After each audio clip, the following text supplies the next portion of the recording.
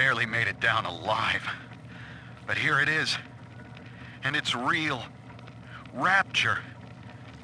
This is where that thing took my... my poor baby girl. From what I saw in the sub, most of the city's in ruins. But there were lights here and there. And shapes. Moving. Ugh, I'm rambling. Scared, I guess.